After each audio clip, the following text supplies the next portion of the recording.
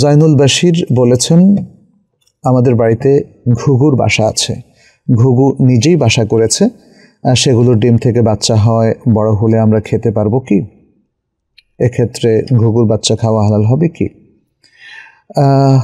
কোন ধরনের পাখি খাওয়া হালাল এবং কোন ধরনের পাখি খাওয়াটা হারাম, আমরা সেটা নিয়ে একটু আলোচনা করব। সাধারণত যে কোনো ধরনের পাখি, তার রং, তার ধরন, যেটাই হোক না কেন, সেটা খাওয়াটা মোবাহ। শুধু সেই পাখি ছাড়া যেগুলো থাবা আছে, নখর আছে, নখর, দু মেখলাবিন, থাবা, নখর বিশিষ্ট যে পাখিগুলো আছে সেগুলো ছাড়া। সেগুলো কীরকম? যেমন ইগল পাখি, যেমন বাজ পাখি, যেমন এই ধরনের আরও কিছু ছোট ইগল আছে, ছোট বাজ পাখি আছে, এগুলোর বিভিন্ন নাম আরবিতে আছে, বাংলায় হয়তো অত নাম নেই বাট যখনই আমরা দেখব যে এগুলো থাবা দিয়ে শিকার ধরে এবং তারপরে সে সেগুলোকে ভক্ষণ করে, তাহলে এই ধরনের পাখিগুলো খাওয়াটা শরিয়াতে হারাম। তো আমরা এখানে দেখি যেমন ইবনা আব্বাস রাদি আল্লাহ তাল আনহু থেকে বর্ণিত আছে তিনি বলেন, নাহা রাসুল্লাহ সাল্লাহ আলাইসাল্লাম আন আকলি কুল্লি দি ন্যাবিন মিনাসিবা ও আন কুল্লি দি মেখলাবিন মিনা তৈর নবী সাল্লাহ সাল্লাম নিষেধ করেছেন যে বন্য যে সকল পশু যেগুলোর নাব আছে যে দাঁত, এখান থেকে সুচালু দাঁত যে দাঁত দিয়ে সে মাংস খুবলে খায়।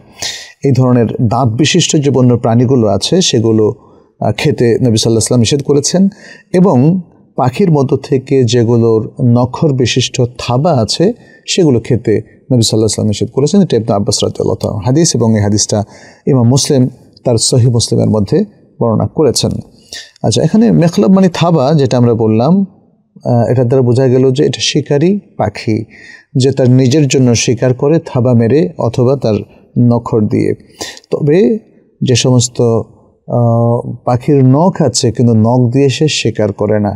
কিন্তু সে হয়তো খাবার খুঁটে নিয়ে মুখে খা, মুখে তুলে খায়, সেটা দিয়ে শিকার করে না। তাহলে এই ধরনের পাখিও শরীরতে খাওয়া যায় যাচ্ছে যেমন হাঁস, মুরগি চড়ুই পাখি ঘুঘু পাখি, কবুতর, নানা ধরনের কবুতর ইত্যাদি সব কিছু এই ধরনের পাখিগুলো খাওয়াটা মোবাহ।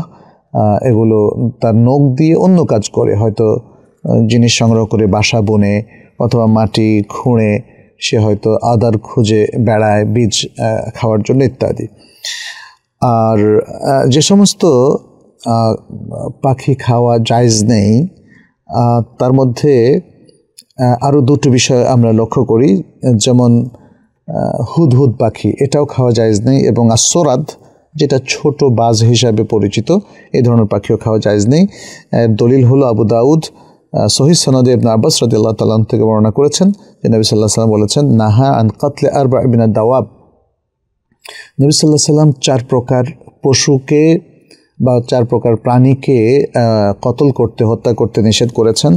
একটা হলো নেমলা পিঁপড়া ও নেহলা মধুমক্ষিকা ওল হুদহুদ এবং হুদহুদ পাখি এবং আশ্বরাদ আশ্বরাদ মানে হলো যেটা ছোট বাজ পাখি। নবী সাল্লাম এগুলো হত্যা করতে নিষেধ করেছেন। যে কোনো রিজানে হোক না কেন, তাহলে বোঝা গেল যে এগুলো খাওয়া জায়জ নেই। কারণ এগুলো খাওয়া যদি জায়জ হতো, তাহলে হত্যা নিষেধ করতেন না। কারণ পাখি বা পশু যেগুলো খাওয়া যায় সেগুলোকে জবেহ না করে খাওয়া চায় না। জবে করাটা মানে সেগুলোকে হত্যা করা। আর দ্বিতীয়ত, আরেক প্রকার পাখি খাওয়াটা হারাম।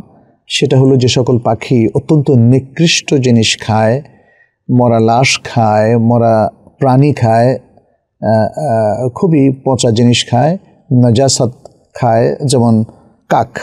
আমরা জানি যে শহরের যে কোনো মজবালা অর্থাৎ যে কোনো ময়লা রাখার জায়গাতে কিন্তু অনেক কাক থাকে। যদিও কাক ঢাকা শহরে অনেক কমে গেছে বাট স্টিল বেশ কিছু জায়গা আছে, সেগুলো অত্যন্ত পচা জিনিস খেয়ে থাকে। এই ধরনের পাখি খাওয়াটা হারাম। দলিল হলো আল কোরআনের সুরা আল আরাফের একশো সাতান্ন নম্বর আয়াত। আল্লাহ তাল্লাহ বলছেন ওই হারিমু আলহিমুল খাবা ইথা এবং তাদের উপর নিকৃষ্ট জিনিসগুলো হারাম করে দিয়েছেন। সে নিকৃষ্ট জিনিস খাওয়ার জন্য হতে পারে, পান করার জন্য হতে, করার জন্য হতে পারে। হ্যাঁ যে নিকৃষ্ট জিনিস খা ভক্ষণ করা হারাম, পান করা হারাম করা হারাম, যেমন নিকৃষ্ট জিনিস কি মদ পান করা। নিকৃষ্ট কাজ যেটা জেনা করা বেবিচার করা ঘুষ খাওয়া, সুদ খাওয়া ইত্যাদি নিকৃষ্ট জিনিসগুলোকে আল্লাহ সুবান তাল্লাহ হারাম করে দিয়েছেন।